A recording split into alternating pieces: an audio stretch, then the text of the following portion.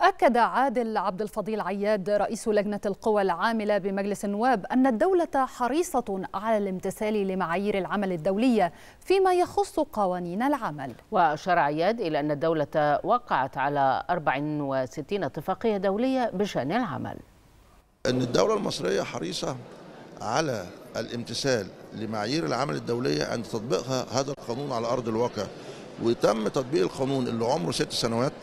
على خلال الدورة النقابية 2018-2022 والدورة النقابية 22-26 كان نتاج ذلك إن وجود حريات نقابية داخل التنظيم النقابي المصري ومؤكده إن الوفد اللي كان مشارك في مع في منظمة في في مؤتمر منظمة العمل الدولية في جنيف رقم 111 كان في منظمات نقابية داخل مصر لا تنتمي للاتحاد العمال القائم داخل مصر وتم مشاركتها داخل الوفد المصري الرسمي ده أكبر دليل على إن إحنا عندنا وجود حريات نقابية داخل إيه؟